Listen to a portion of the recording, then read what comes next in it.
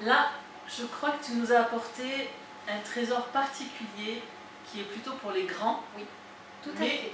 nécessité d'en parler. Donc euh, c'est un album de David Cali, illustré par Maurizio Quarel. Euh, le titre de cet album, pour les grands, on précise à partir de 9 ans à peu près, on nous appelait Les Mouches aux éditions Sarbacane. Je crois qu'il y a à nouveau un écho avec quelque chose qui existe vraiment. C'est. Enfin, voilà. Alors oui, c'est un album euh, plutôt, plutôt rare parce que en fait, euh, euh, l'atmos- enfin, on- des, des albums de, de science-fiction avec une atmosphère euh, post-apocalyptique, j'en ai très rarement vu en fait. On a tous en tête des, te- des textes de référence comme Fahrenheit 451, etc.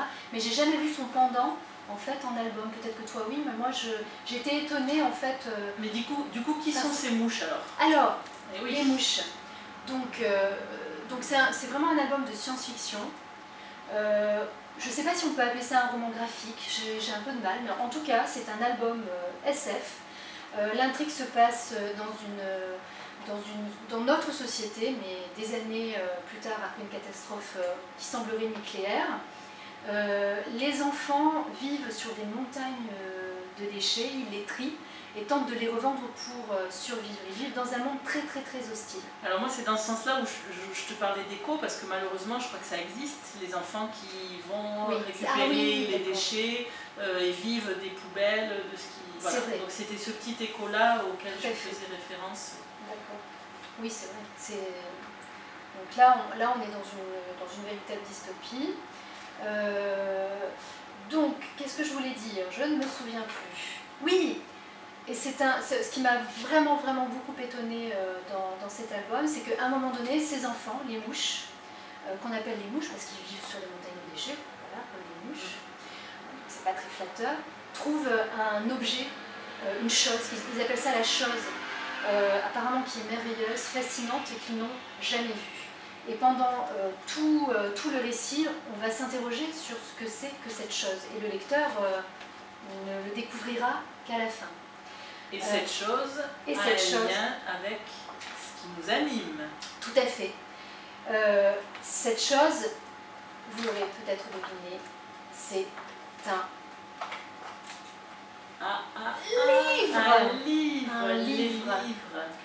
Et donc, pouvoir des livres. Tout à fait. Et c'est un livre, c'est un album qui rend hommage au livre et à la lecture comme un bien essentiel, un bien précieux, un véritable trésor.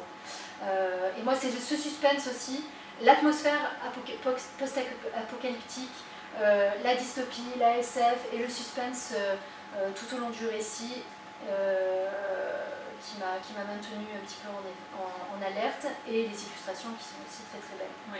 Et du coup, est-ce que ça veut dire pour les plus grands, comme le texte est un peu long, il peut être lu en plusieurs parties Il peut être lu en plusieurs fois? Oui, bien sûr. Après, le, le texte est long, mais euh, euh, il n'est pas non plus. Enfin, on peut le lire en deux fois, je pense, euh, Mm. voilà, pour éviter que ce soit trop lourd, peut-être, pour le lecteur, la lectrice ou le lecteur.